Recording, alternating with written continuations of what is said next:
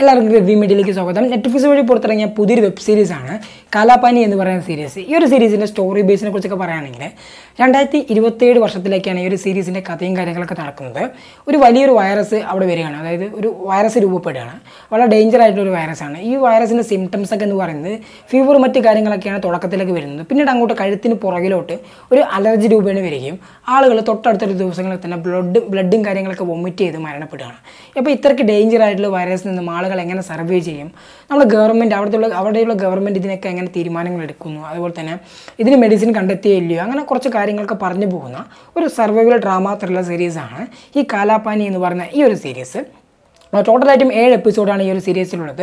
ആദ്യ എപ്പിസോഡിൽ സീരീസിന്റെ കഥയിലേക്ക് എത്തിച്ചേരാൻ കുറച്ച് സമയം എടുക്കുന്നുണ്ട് പിന്നീട് അങ്ങോട്ട് രണ്ടാമത്തെ എപ്പിസോഡും മൂന്നാമത്തെ എപ്പിസോഡ് നാലാമത്തെ എപ്പിസോഡ് അത്യാവശ്യം എൻഗേജ് ചെയ്യിപ്പിച്ചും കുറച്ചൊക്കെ ഗ്രിപ്പിംഗ് ആയിട്ടും കുറച്ചൊക്കെ ത്രില്ലടിപ്പിച്ചുകൊണ്ടൊക്കെയാണ് ഈ ഒരു സീരീസ് കടന്നു പോകുന്നത്. ഒരുപാട് എന്താണ് ഒരുപാട് സീറ്റേജ് ത്രില്ലർ സീരീസ് ഒന്നും പറയാൻ പറ്റില്ല.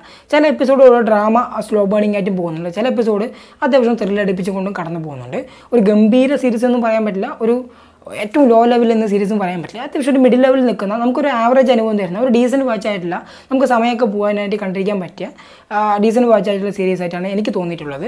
ആ ഒരു ഒറാക്കളായിട്ടുള്ള മക്കൾ അതായത് ഐലാൻഡിലുള്ള കുറച്ച് ട്രൈബൽ ആയിട്ടുള്ള കുറച്ച് മക്കളുണ്ട് ആളുകളുണ്ട്. അപ്പോൾ ആ ആളുകൾ വിളിക്കുന്ന പേരാണ് ഒറാക്കൾ.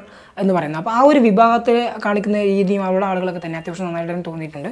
അതുപോലെ തന്നെ എനിക്ക് ഇറിറ്റേറ്റ് ആയിട്ടുള്ള എനിക്ക് വേണ്ടാമായിരുന്നു എന്ന് തോന്നിയിട്ടുള്ള കാര്യം എന്ന് പറയുന്നത് ഈ സിനിമയിൽ ചില കഥാപാത്രങ്ങളുടെ പാസ്റ്റ് പറഞ്ഞുകൊണ്ടിരിക്കുന്ന തന്നെ പ്രസന്റ് പറഞ്ഞുകൊണ്ടിരിക്കുന്ന കാര്യമുണ്ട്. ഫ്ലാഷ് ബാക്ക് പറഞ്ഞു പോകുന്ന കാര്യമുണ്ട്. ചില കഥാപാത്രങ്ങളുടെ ഫ്ലാഷ് ബാക്ക് അതെനിക്ക് വേണ്ടാമായിരുന്നു തോന്നി. കാരണം ചിലതൊക്കെ ഓക്കെ ചില കഥാപാത്രങ്ങളൊക്കെ തന്നെ സീരിയസ് ആയിട്ട് പറഞ്ഞ സിറ്റുവേഷനിലൂടെ കടന്നു പോകുന്ന സമയത്ത് അവരുടെ പാസ്റ്റും കൂടി ഫ്ലാഷ് ബാക്കും കൂടി പറഞ്ഞു പോകുന്നത്. അത് നമ്മുടെ ആസ്വാദനത്തെ ബാധിക്കുന്ന തരത്തിലാണ് കടന്നു പോകുന്നത്. അപ്പോൾ അതൊന്ന് കുറയ്ക്കാമായിരുന്നു എന്ന് തോന്നിയുള്ളത് എനിക്ക് തോന്നിയിട്ടുണ്ട്. അതുപോലെ തന്നെ ഓരോ എപ്പിസോഡും ഏഴ് എപ്പിസോഡ് ഉണ്ടെന്ന് ഞാൻ പറഞ്ഞല്ലോ. ഓരോ എപ്പിസോഡിന്റെ റണ്ണിങ് ടൈം എന്ന് പറയുന്നത് ഒരു മണിക്കൂർ പത്ത് മിനിറ്റ് ഒരു മണിക്കൂർ നാല് മിനിറ്റ് ഒരു മണിക്കൂർ നടത്തേക്കാണ് റണ്ണിങ് ടൈം വരുന്നത് അതൊരു നാൽപ്പത് നാൽപ്പത്തഞ്ച് മിനിറ്റ് കൊണ്ട് കംപ്ലീറ്റ് കംപ്ലീറ്റ് ചെയ്യുവാണെങ്കിൽ കുറച്ചും കൂടി ബെറ്റർ ആകുമായിരുന്നു എന്ന് എനിക്ക് തോന്നി. ഓവറോൾ നോക്കുവാണെങ്കിൽ അത്യാവശ്യം ഡീസന്റ് വാച്ച് ആയിട്ടുള്ള സീരീസ് ആണ്. എനിക്ക് ക്യാരക്ടർ ബേസ് കഥാപാത്രങ്ങൾ വെച്ച് നോക്കുക ആരെയും കുറ്റം പറയാനില്ല. ടെക്നിക്കൽ ബേസ് അത്യാവശ്യം നീറ്റ് ആയിട്ടുള്ള ടെക്നിക്കൽ ബേസ് ഒക്കെ തന്നെയാണ്. പിന്നെ കഥാപാത്രങ്ങളൊക്കെ എടുത്ത് നോക്കുകയാണെങ്കിൽ എല്ലാവരും നന്നായിട്ട് ചെയ്തിട്ടുണ്ട്. അതിൽ എനിക്ക് കുറച്ചും കൂടി ഇഷ്ടപ്പെട്ടിട്ടുള്ളത് ഡോക്ടർ സൗദാമി എന്ന കഥാപാത്രമാണ്. ആ കഥാപാത്രം ഫസ്റ്റ് എപ്പിസോഡ് തന്നെ മൊത്തമായിട്ട് തീർത്തിട്ടുണ്ടായിരുന്നു.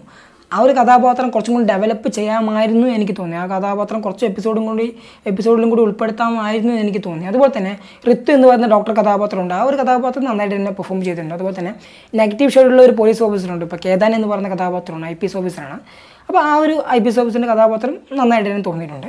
അപ്പോൾ പെർഫോമൻസ് ബേസ് ആരും കുറ്റം പറയാനില്ല. ടെക്നിക്കൽ സൈഡും അത്യാവശ്യം നീറ്റായിട്ട് തന്നെ പ്രസന്റ് ചെയ്തിട്ടുള്ളത്. എല്ലാ എപ്പിസോഡും ത്രില്ല് അടുപ്പിക്കുന്നില്ല. അത് ഞാൻ ഓപ്പൺ ഓപ്പണായിട്ട് തന്നെ പറയാം. എല്ലാ എപ്പിസോഡും ത്രില്ല് അടുപ്പിച്ച് കൊണ്ടല്ല കടന്നു പോകും നമുക്ക് ചില ചില സിനിമകൾ ചില സീരീസൊക്കെ നമുക്ക് എടുത്ത് നോക്കി കഴിഞ്ഞാൽ വൈറസ് ബേസ് ചെയ്തിട്ടുള്ള സീരീസുകൾ സിനിമകളൊക്കെ എടുത്ത് നോക്കി കഴിഞ്ഞാൽ ചില എപ്പിസോഡൊക്കെ തുടക്കം മുതൽ അവസാനമേ നല്ല സീറ്റേജ് ത്രില്ലറിൽ നമ്മളെ അത്രയധികം സ്ക്രീനിൽ നിന്ന് കണ്ണെടുക്കാത്ത ലെവലിൽ പിടിച്ചു നിർത്തുന്ന സീരീസുകളൊക്കെ ഉണ്ടാകും പക്ഷേ ആ ഒരു ലെവലിലൊന്നും പ്രതീക്ഷിക്കേണ്ട.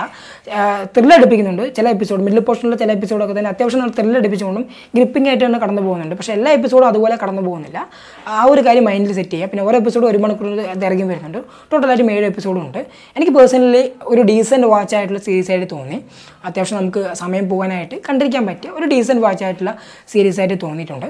ഞാൻ തമിഴ് ഡബിലാണ് കണ്ടിട്ടുള്ളത്. തെലുങ്ക് ഹിന്ദി എന്നീ ഭാഷകളൊക്കെ അവൈലബിൾ ആണ്. ഡബിലൊക്കെ അവൈലബിൾ ആണ്. ഞാൻ കണ്ടിട്ടുള്ളത് തമിഴ് ഡബിലാണ് താല്പര്യമുള്ളവരൊക്കെ തീർച്ചയായിട്ടും ഒന്ന് കണ്ടു നോക്കാവുന്നതാണ്. ഓൾറെഡി കണ്ടവരാണെങ്കിൽ ഈ ഒരു സീരീസിനെ കുറിച്ചുള്ള അഭിപ്രായം തീർച്ചയായിട്ടും എന്റെ കമന്റ് ബോക്സിൽ ഒന്ന് രേഖപ്പെടുത്തുക. വീഡിയോ ഇഷ്ടപ്പെടുവാണെങ്കിൽ ഒന്ന് ലൈക്ക് ചെയ്യുക. ചാനൽ ആദ്യമായിട്ടാണ് നിങ്ങൾ സബ്സ്ക്രൈബ് ചെയ്യുക. അടുത്തൊരു വീഡിയോ ആയിട്ട് ഇനിയും കാണാം. താങ്ക്